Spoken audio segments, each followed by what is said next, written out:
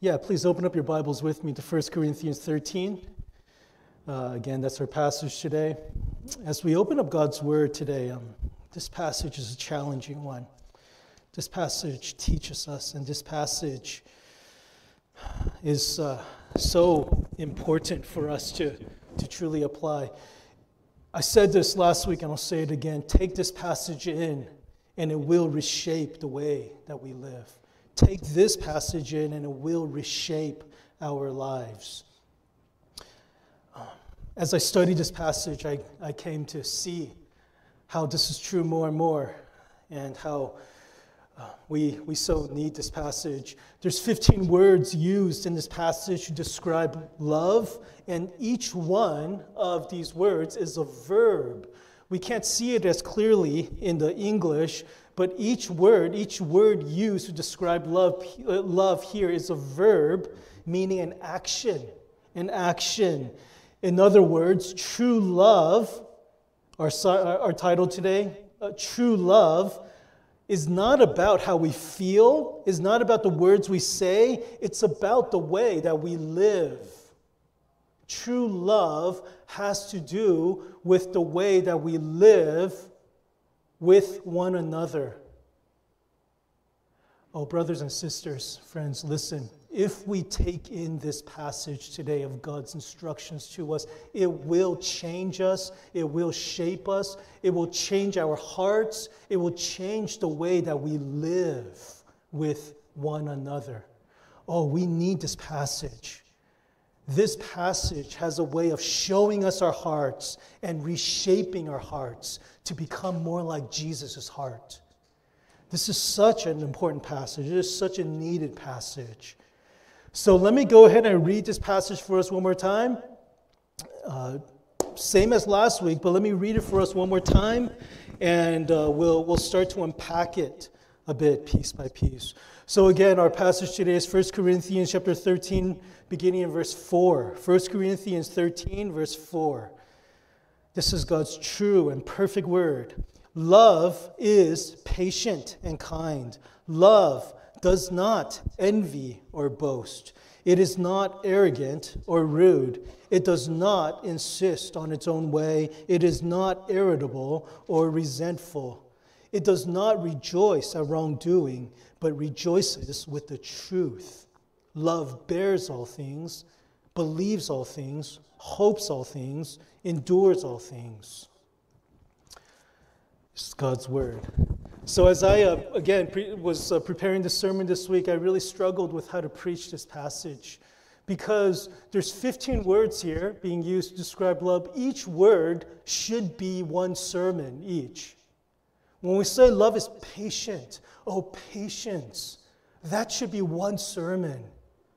Oh, love is kindness, that should be one sermon. There's so much for us to learn about each one of these words and how it shows us what true love is.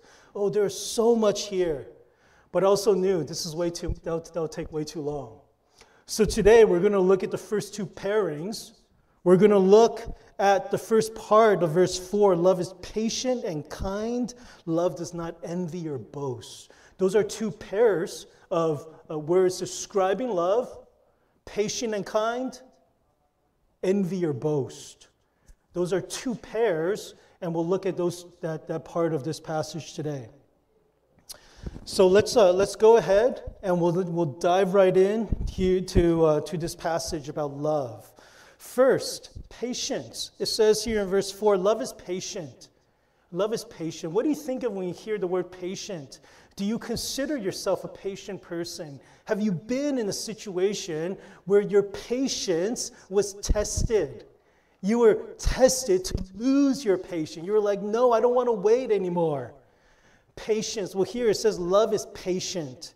We, we have seen, we've all been in situations where we've seen an impatient driver on the road, right? Honking the horn, tailing, cutting off. We've seen an impatient boss at work, uh, pushing uh, uh, dealing with, uh, with, uh, with employee, employees in, in different ways. An impatient boss. We've seen an impatient customer who loses their patience after waiting for only five minutes. Uh, we, we know, we, we've seen patience. Uh, we, we know what impatience looks like. But here in this passage, I want us to think more deeply, biblically, about what this passage means when it says love is patient. And how do we use this in our life? Now, to understand patience, first, I want to tell us what love, what patience is not. Patience is not being passive. Patience is not about being passive. Passive, being passive, is someone who fails to take action, who waits too long to act, who waits, who fails to take action because they are fearful they are afraid of taking action. Or uh, patience is not about, uh, it's not passive and it's not laziness. It's not inactivity. It's not lack of motivation. When we talk about patience, it's not about someone who is passive and hesitant to take action. Patience, rather, is this is what it is it's being slow to anger. Patience is about being slow to anger or having self control. A good way to think about it is this. I was reading one, uh, one, uh, one writer this week, and the way he described it was patience about having a very big heart. What do you mean having a very big heart? For example, many things may come at us, come at us in our lives to offend us, to inconvenience us. And though many things come into our lives that are not good to offend us, our heart is so big that even though so many things come, it does not build up to the point of provoking us to respond in anger. Very big heart no matter how many bad things come to provoke us.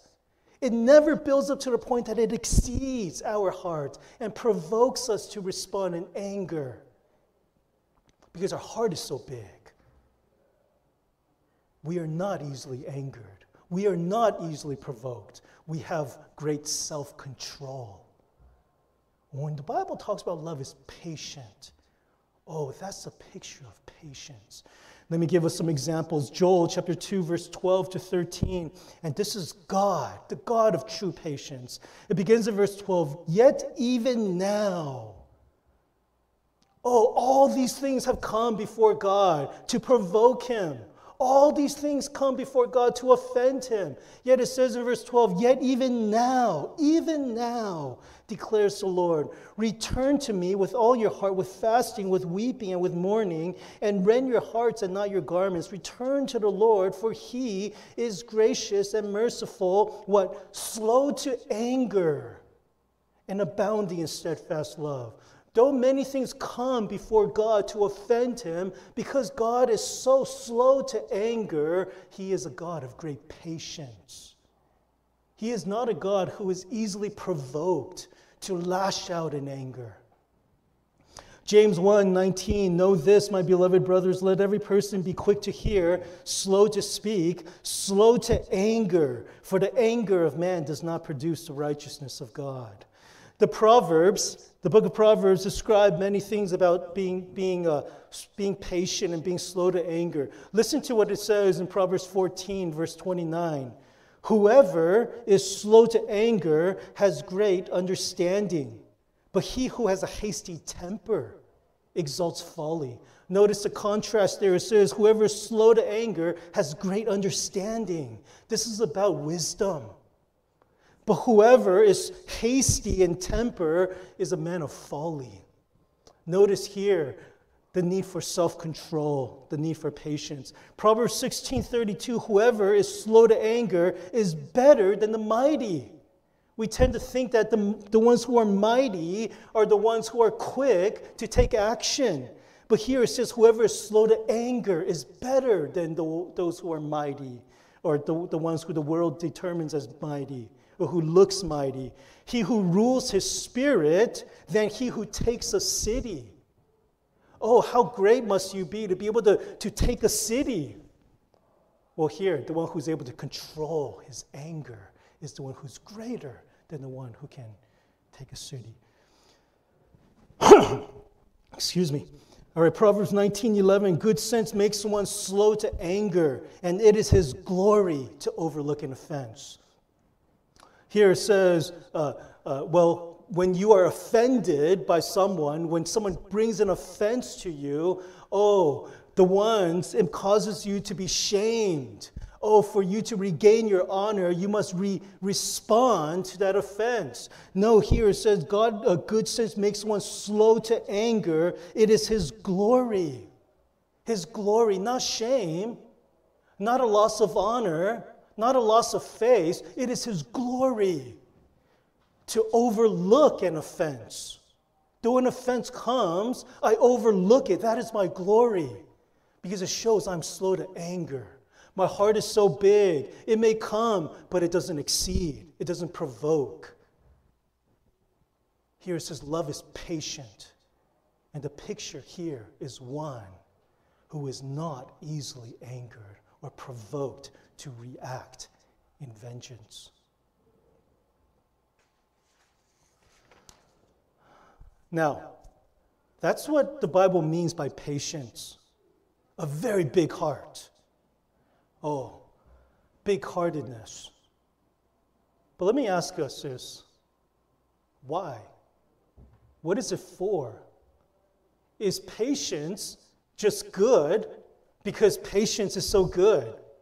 Oh, we should be patient. We should be slow to anger. We should be self controlled because patience itself is so good.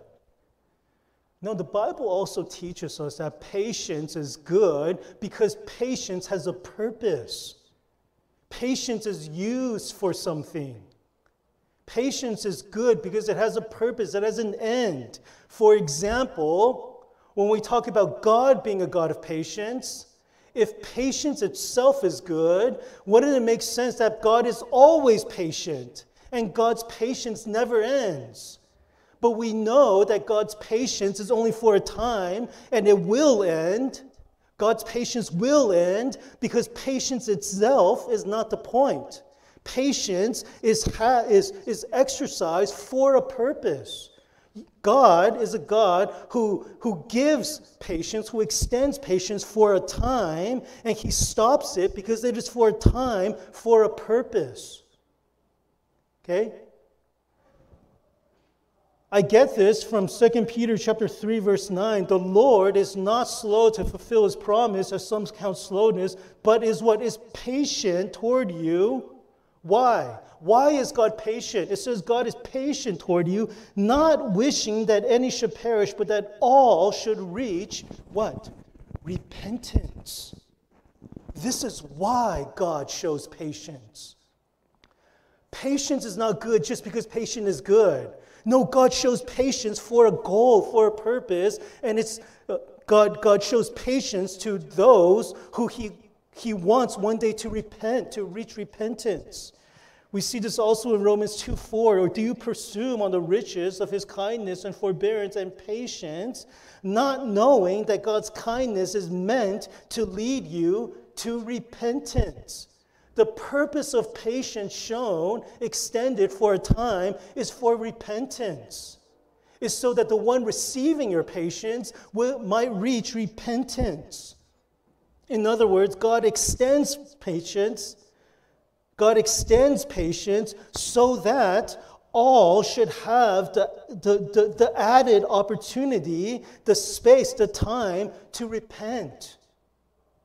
God can easily lash out and respond immediately in anger and vengeance and wrath. God can easily do that, but God waits. God shows patience for a time so that those who have offended, have sinned against Him, will have more time, will have the opportunity to one day hopefully reach repentance.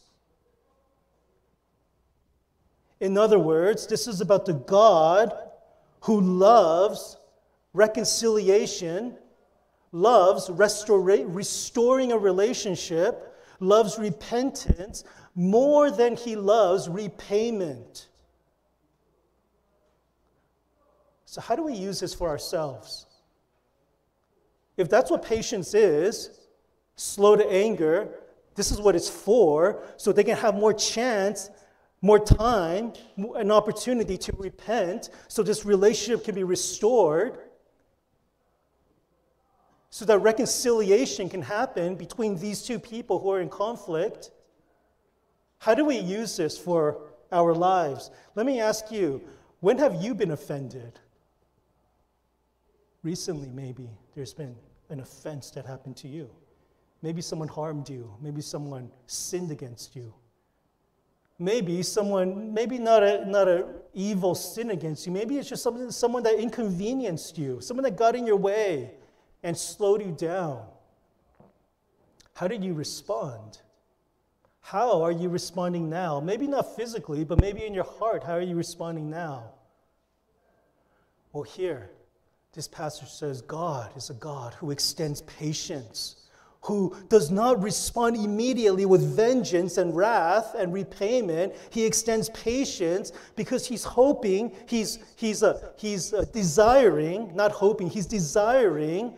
He's desiring that this added time of patience given will lead to restoration of relationship, reconciliation. That's why we show patience. We give patience, we extend patience, we show patience, desiring that this relationship will be restored. So when it says love is patient, that's what the Bible's calling us to be people of patience. But going on, I want to see the other side of patience, which is kindness. It says in verse 4 love is patient and kind. Now, these are two sides patient and kind. These are uh, uh, both are needed by, uh, by us. Now, I'll be, I'll be very uh, honest when it comes to the, the topic of kindness. Uh, I, before I studied this passage more deeply, I used to, uh, in my heart, laugh whenever I see the word kindness being used. for example, I'll see a poster where someone will say, just be kind. Who cares about the differences that are in the world? Who cares about the different uh, ways that we live? And who cares about the different opinions that we have? Just be kind to everyone. That's what really. I, uh, I was walking down the street one time, and I was walking next to this elementary school, and I saw a huge painting on the wall of this elementary school in big, colorful uh, uh colors kindness. Right? Just be kind. You're trying to tell the kids, just, just be kind. It's all just about kindness. Who cares about your differences? Who cares about all these things? Just kindness. Just be kind. Okay, I'll be honest. When I used to see that, I would just look at that and I'll just go, that is so fluffy. That is so empty. That is so shallow. No, we as people, we want discernment. We want to know what's right and what's wrong. We want to know what's good and what's bad, what's good and what's bad. We want to know. And, and, and so we can, we can be people of righteousness. Oh, just kindness, just kindness. I'm like, that's so fluffy. Oh, but as I studied this passage, the more and more I'm like, oh, kindness. Oh, for us Christians, that's our thing. Oh, we should be people. This is our thing when it comes to kindness. See, my confusion when I used to laugh at the use of kindness is that I, I was confused about what kindness is. And, and here it is kindness is not niceness. When we're dealing with what kindness is, when it says love is kind, kindness here in 1 Corinthians 13 4, this is not about being nice.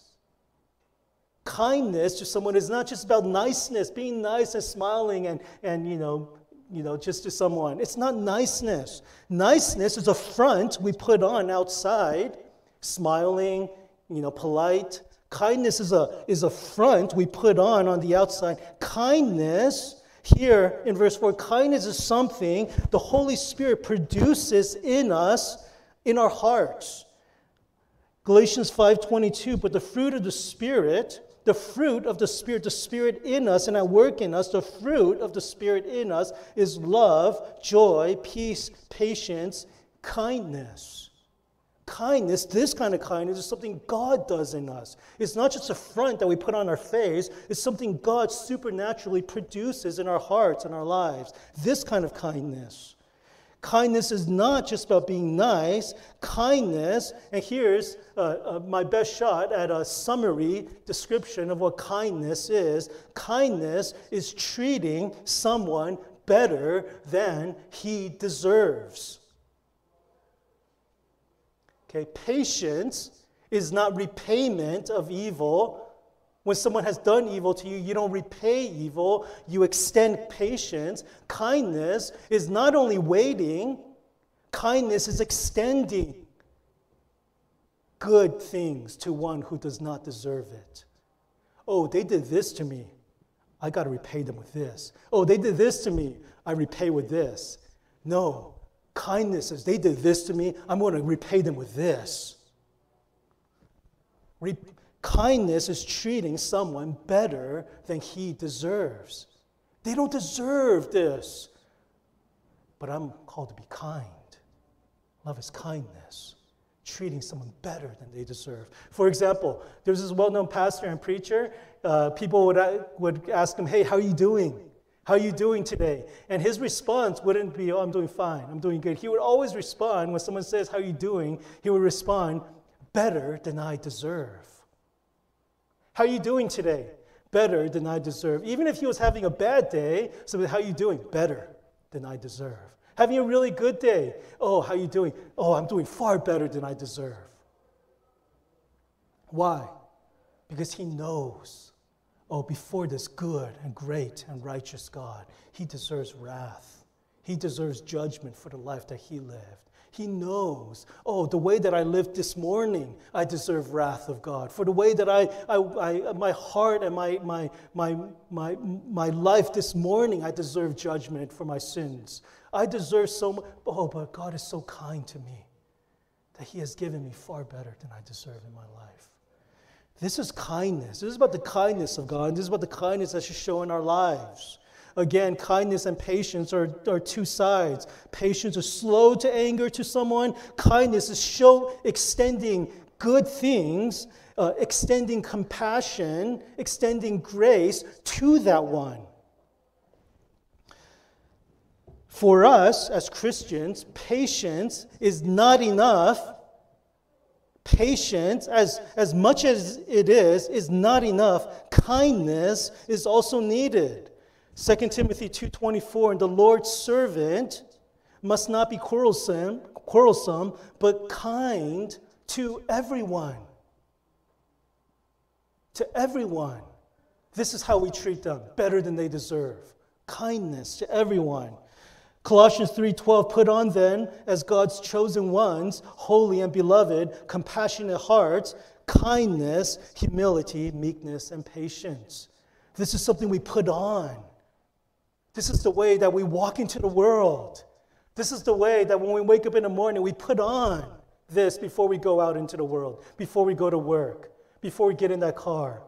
We're called to be people of kindness. 2 Corinthians 6 says but as servants of God, we commend ourselves in every way by purity, knowledge, patience, kindness. Notice we need to be people of patience and people of kindness oh, they deserve this. They did this to me, they deserve this. No, we treat them better than they deserve. This is the way Christians were in the, in the early church when uh, there were great persecutions, great tribulations in the world. Uh, even though the world didn't truly understand this new uh, uh group, uh, Christians, they didn't understand what they believed. They didn't understand their religion. They thought they were weird. They were this new group. But what they couldn't deny was that these people were people of great kindness. Listen to what this one scholar said about those Christians back in the early church. The kindness of Christians in the second century, the early church, so surprised their pagan counterparts that, according to one historian, they called Christians they called Christians uh, people of kindness. People of kindness. It was, uh, it was their kindness that surprised them. It was their kindness that was so evident in them. When they saw this group, they were like, These people are kind. We don't understand what they believe. We don't know what they're about. We don't understand this gospel thing or this crucifixion thing. We don't really know much about them, but we can't deny that when we see them, we see this about them. Oh, they were filled with kindness. They treated all people with kindness. So that's the first part of this, uh, this, this passage about love. Love is patient. Oh, big heartedness, not easily angered. No matter what comes, I'm slow to anger. But also this kindness. Oh, the one who offended me, not only do I not lash out at them, I extend compassion to them better than they deserve. But I want us to go on. Notice the next pairing. It says, Love does not envy or boast. Oh, this, this part really convicted me because this is, this is a pairing about love that I don't know about you, but I can relate to. And I believe there is much here for us to see as a microscope to our hearts. Notice again, it says, Love is patient and kind. Love does not envy or boast. The word envy. When you hear the word envy, what do you think about? Envy, a very basic description, is to want what belongs to someone else. This is what I have. That person, I see this is what they have. Oh, I see what they have. They have it, I don't, and I feel this thing in my heart of resentment, even of hatefulness. Why, why does he have that and I don't? I feel that thing in my heart. That's envy. It could be a possession, it could be a person, it could be a position in in a community, at work. It could be fortune. It could be success. Oh, you eye that person. You see. You're like, why does that person have that and I don't? And I feel envy in my heart.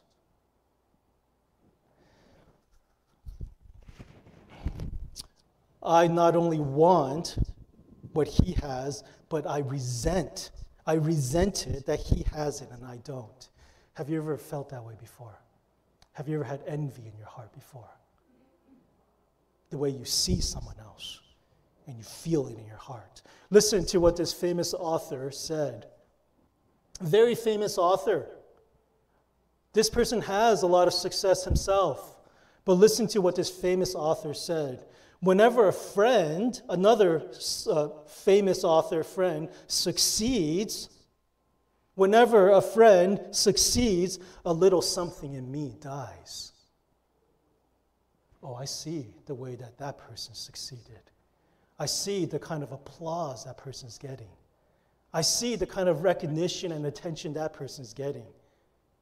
And I see it, and a little something in me dies. Listen to what this famous actor said. This is uh, an actor who uh, attended another actor's performance. And this actor said, after his great performance, the louder they cheered him, the more I wept for myself. This is a very famous actor. He's been cheered too. Oh, but the louder they cheered for him, the louder that cheer got for him, the more I wept in my heart. This is envy. This is envy, and this is something that um, I don't know. I, mean, I, think this is so common. This is, this is something that is uh, that we see from the very beginning of Scripture, right, with Cain and Abel. This is something we see throughout Scripture, uh, Saul and David. Uh, this is something we see all over the place and in our lives. Listen to what this author said about envy. Envy makes you feel resentment or anger or sadness because another person has something or another person is something that you want that for yourself. They have it, I don't. Oh, my heart.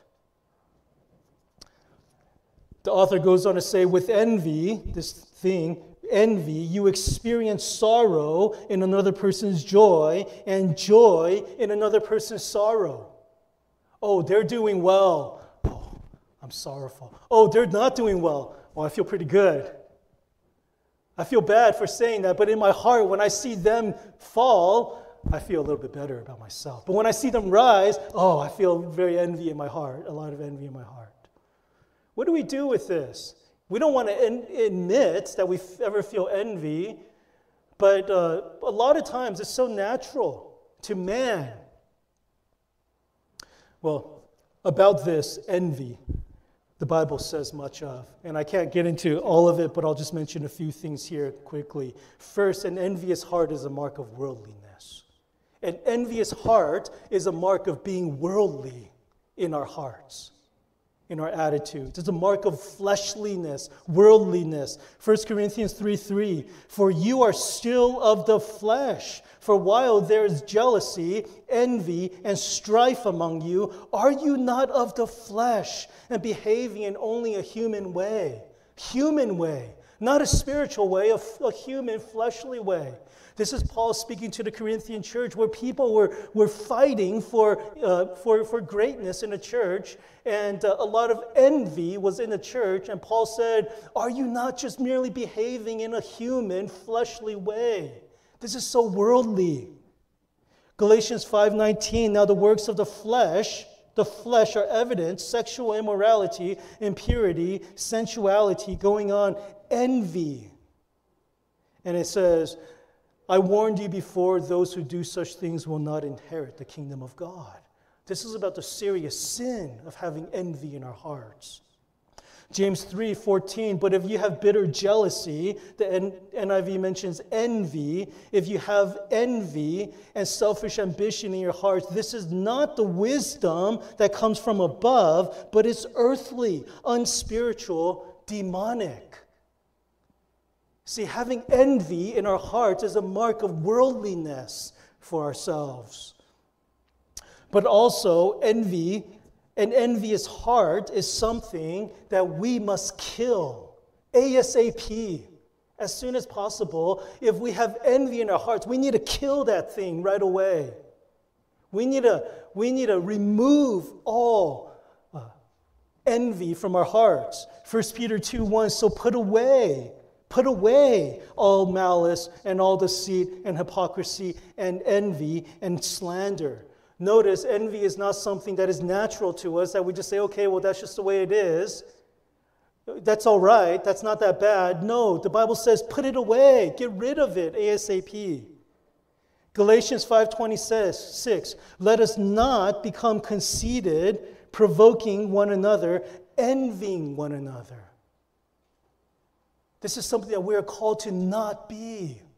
Oh, we are not to have envy in our hearts. Get rid of it from our lives. Do not have en- any envy in our hearts. The question is, is how? How do we remove envy from our hearts and our lives? Well, there's only one way. Let me give us an example.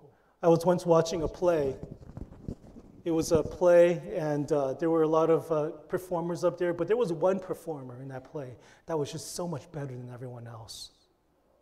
But the thing is, that person was a little smaller. His physical appearance looked a little bit less impressive. So this person was given a lesser role. And the main actors and actresses in that, in, that, uh, in that play just weren't as good as this guy was. This guy was just better. Every scene this guy was in, he just stood out because his acting was so much better than everyone else. And you could see it right away. This was the best actor on the stage, but he was not given a, a very good role. Others, less uh, uh, great actors, were given better roles. There came a time in the play where uh, people applauded the, the, the, the, actors and actresses. And uh, uh, one of the main actresses uh, was put forward, and everyone applauded. Guess who was the one who was applauding the loudest? Oh, you saw the, that guy in the back. Standing in the back where he was, just with a big joy. And the louder the claps got, the more he clapped with, with a greater smile. Oh, because he was, he was finding joy in another person's success.